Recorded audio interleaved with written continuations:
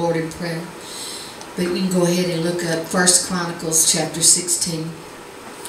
And we'll be reading the text from there today. Father, I love you, Jesus. I praise you. Lord, for your goodness and your mercy and your love. Lord, for your long suffering, Father. Lord, just for your word, Lord, and for all that you do. But most of all, Lord, I just thank you for being you. I love you, Father. I praise you. Lord, I thank you for what I see that you're doing for them that truly are wanting to be real, them that are pressing on in, God. Lord, you're doing a work in each of us, Father, and I thank you for that. Oh, holy Jesus, holy Father. And Lord, I know that you will have your complete will done here in this area. And God, Lord, it's all in your hands, Lord. Lord, it is in your hand, God, and I know, Lord, that you are going to do that mighty word. And Lord, that you are going to express yourself in the way that you desire. And Lord, that many bands will be broke here in this area, God. I believe it with all my heart. Lord, I know that the evil, Lord, and this old religious spirit, God is going to be drawn back. Many are going to be broken. The shackles are going to fall. Lord, many are going to be broke from this yoke of religiousness, Father. Lord Jesus, I see you bringing up a church, God, that is going to truly love you with their heart, soul, and mind, Lord, that they're going to apply themselves to you, Jesus. Oh, I love you, Father, and I praise you. Lord, bless not my vessel today to minister this word. Lord, let it go out and reach, Lord, and minister to the heart and the soul of the hearer, God, that they will hear and receive. And Lord, be blessed and built up and strengthened in thee, oh God. Lord, we love you and we praise you. Lord, if there's any lost, Lord, that is hearing this message, Lord, I pray, God, Lord, that their spirit will be drawn unto you by the Father. And Lord, that they will hear that call and they will answer it, Lord. Lord, in your precious holy name, Jesus, I pray. Amen and amen. Thank you, Jesus. First of all, I want to thank the Lord for helping me with the sickness in my body. I really do. I appreciate it. For helping me. Hallelujah. And I know it's all by His power, and, and I just love Him with all my heart. But I want to start reading. And what I'm going to minister on today is the beauty of holiness. Now, a lot of times when you speak holiness, a lot of people think you're talking about the outward adorning. But yes, we do need to do that. But what I'm wanting to speak on is true beauty of holiness that's in the heart of mankind. That God is wanting to place there in us, in His children. Hallelujah. And I'm going to start reading it. Verse 8. Give thanks unto the Lord, call upon His name. Make known His deeds among the people. Sing unto him, sing psalms unto him, talk ye of all his wondrous works. Glory ye in his holy name. Let the heart of them rejoice that seek the Lord. Seek the Lord and his strength, and seek his face continually. So he lets us know that we are, are to apply and walk a consecrated life to him, to seek him daily. It's not something that you just get into and then get out of, but you just Press toward him every day. Renew your minds daily in him. It said, remember his marvelous works that he had done, his wonders, and the judgments of his mouth. O ye seed of Israel, his servant, ye children of Jacob, his chosen ones. Isn't that something? How the Lord refers to us as his chosen ones. You know, we didn't go seeking for him, but he come looking for us. I'm so thankful that he chose me to be his child. My goodness, I don't want to ever take that for granted because I know that there are many that are being pulled and, and convicted by God, but many turn a deaf ear and they don't want to hear and they don't want to receive at that time. And I just pray that God will just keep working with those hearts and keep pulling them and keep drawing them. But you know, sometimes he only just draws on some a few times before they go on and they uh, leave this earth and they leave unsaved. It breaks my heart. But God knows the heart of every man that He's dealing with. And He knows whether they're going to listen to Him or whether they're not. So, you know, God is long-suffering as long as He wants to be with each and every person. But we pray for his long suffering on every one of us. Hallelujah. And I thank you for his, uh, I thank him every day for his long suffering. And it goes on, it says, He is the Lord our God. His judgments are in all the earth. Be ye mindful always of his covenant, the word which he commanded to a thousand generations. Says one thing about God's covenant, it never runs out. Once God makes a covenant with his people, it is a perpetual covenant. It is everlasting. It's something that we can in. It's something that we can believe and trust in. And it's something that I am thankful to God, even when he had a covenant with Abraham. Hallelujah. He made himself known unto Abraham. What? Through a covenant with him. Well, God has made himself known to us through the covenant that he has made with his people. And that's the reason I have new covenant on this church. Hallelujah. Because Jesus Christ is that new covenant to us. Hallelujah. That we're not saved by works, we're saved by faith through grace. Hallelujah. Or grace through faith. Either way, either way it takes them hand in hand. But I tell you, I thank God for all that He does. It said, even of the covenant which He made with Abraham and of His oath unto Isaac, and hath confirmed the same to Jacob for a law and to Israel for an everlasting covenant, saying unto thee, Will I give the land of Canaan the lot, the lot of your inheritance? See, we have an inheritance in God. Hallelujah. And I tell you, I want everything that He has prepared for me. We can read that in Psalms 100 of all the benefits, hallelujah, that is entitled, is an entitlement to us as we serve Him and walk in His Word. And I thank God for that. Hallelujah. But it goes on and it says, when you were but few, even a few, and strangers in it. And when they went from nation to nation and from one kingdom to another people, he suffered no man to do them wrong. Yea, he reproved kings for their sakes. Isn't that something? How God will fight our battles. I said, God, I said, this war that is raging here, I said, God, you have fought every battle. And I said, God, you are the one that's going to have victory here. And I said, God, I thank you, Lord, for fighting this battle for us. Hallelujah. Because Sister Pam, anytime flesh thinks it can fight something, it better get out of the way because it's going to fail. it's going to fail. So we've got to rely on God. Hallelujah. But listen to what he says. He's saying, touch not my anointing and do my prophets no harm. God, I tell you what, He puts great value in His ministers. He puts great value in His people. Amen. The Bible tells me in the Old Testament that we are a peculiar treasure to Him. Hallelujah. We are a peculiar people, a set apart people, a people that is separated from the world. We don't love the world or the things in the love. In the world. Hallelujah. It's not what our heart desire is It's for those things in the world. Our desire is unto the Lord and what He has for us. Amen. And that's where true beautiness comes from. It comes from Him, His Spirit. And I tell you what, you can be around people at times and, and, and you know what's going on there because, my goodness, when someone has got that personal relationship in such a way, you can just see that, that beauty of God that's on them. It don't matter what their natural outside looks like. Hallelujah.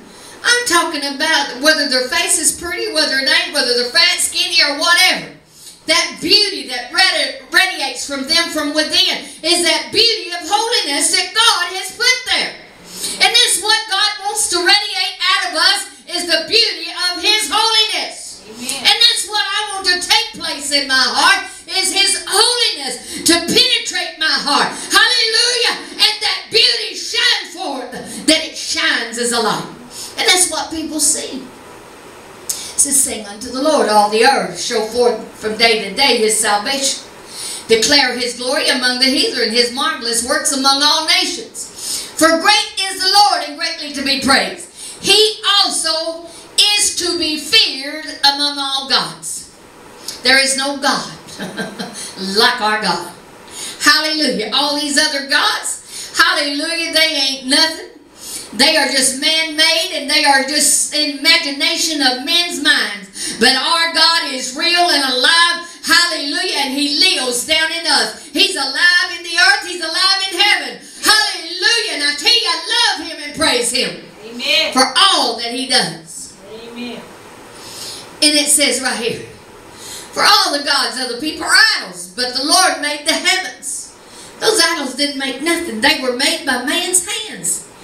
And you know, it, it but you know, there has to be a blindness on somebody's heart and mind to go and cut something down or fashion it from gold or silver and make some idol that they know that they made. Hallelujah. They can't talk to them, can't hear what they say, and can't even move for them, but yet they will dedicate their life to these things. And I'm talking about a dedication you wouldn't believe.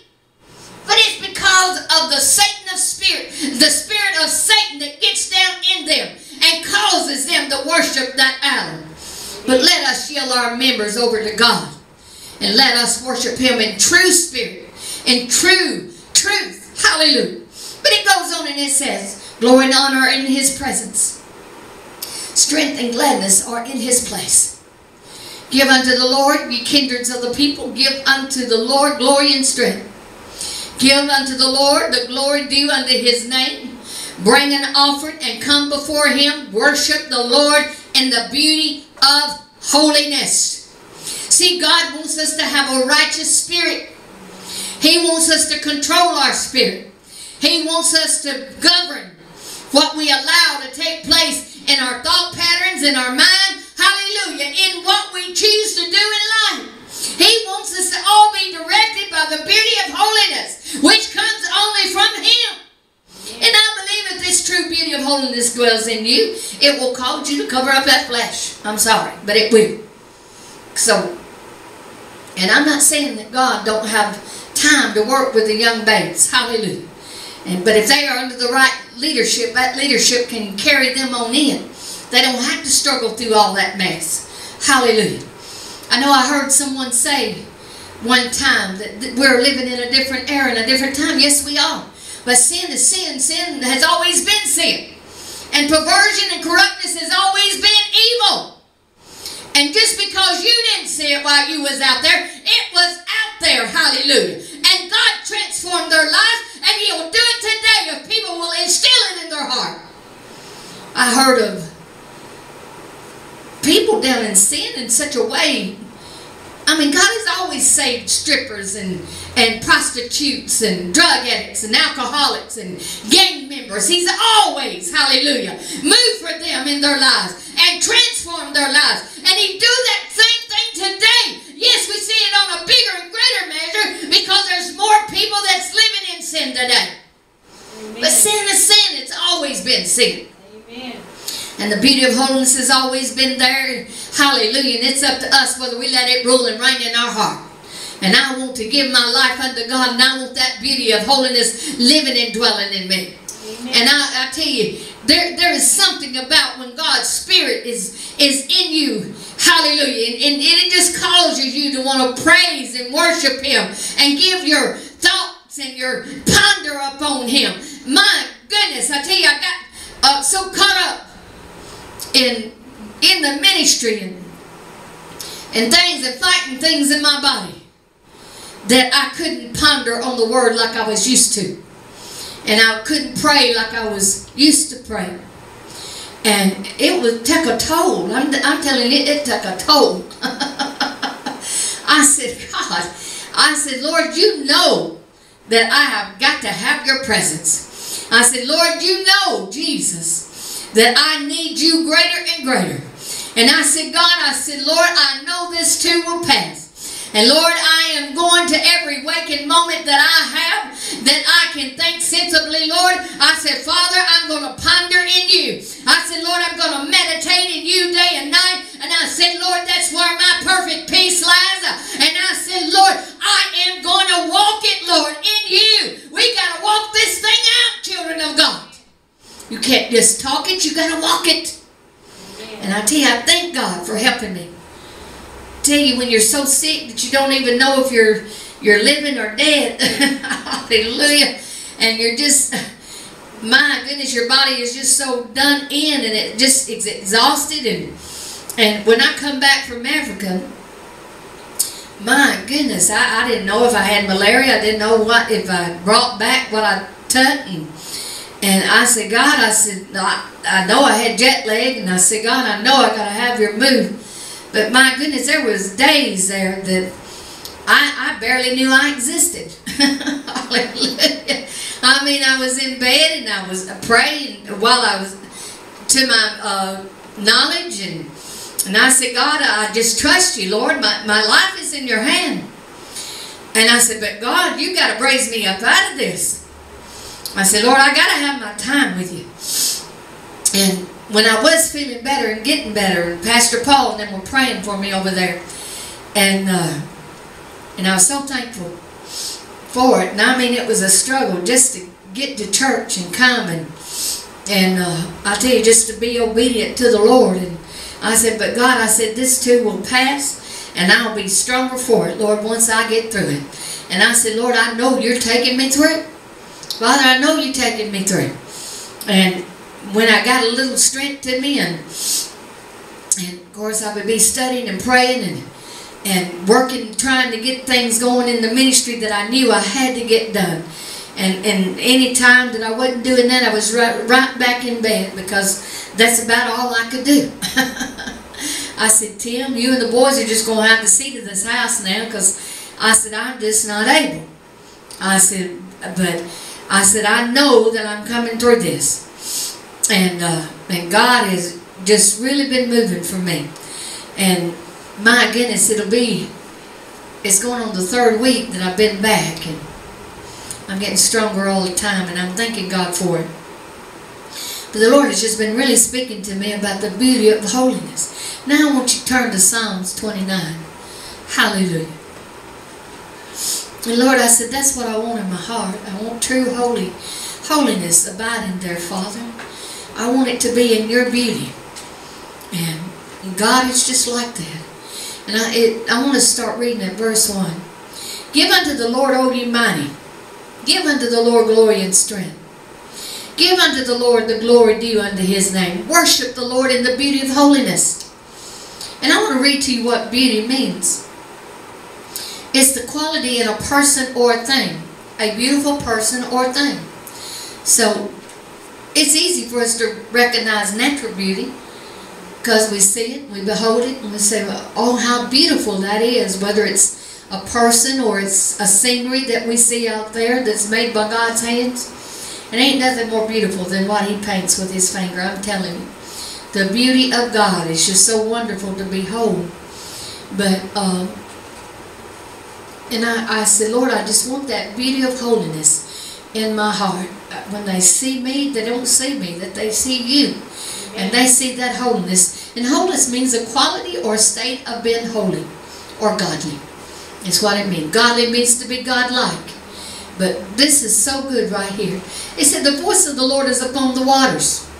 The God of glory thundereth. The Lord is upon many waters. And when I read these scriptures here, uh, which I've read them many times, but I believe it was about the first of the year when I read these again that just stood out to me. And I remember that when I was got the Holy Ghost at 19 years old, and when I felt the Spirit of God coming in me, and, and me speaking in tongues, before he entered me, I heard the rushing of, of, of many waters. And, you know, on the farm there, we didn't live by any water. The, the river that was on the property was way down at the bottom, at the back back there. There wasn't no way that you could hear it from up there in the house. And I just heard like the voice of many waters. And I've always wondered what it meant. And when I read this and it and the Lord took my mind back to it, I said, well, my goodness, Lord, you was just letting me hear that voice of many waters as you were filling my body, hallelujah, with your Holy Ghost. And I tell you what, that love and peace that God put in my heart was nothing like it. My goodness, I'll never forget it. That's the reason I tell people, I said, people come too late to tell me that there's not a Holy Ghost that God don't put in us. And you know that yourself. If you've been baptized with the Holy Ghost, you know that God still gives the Holy Ghost today. Nobody can tell you different. Hallelujah. And, and when you want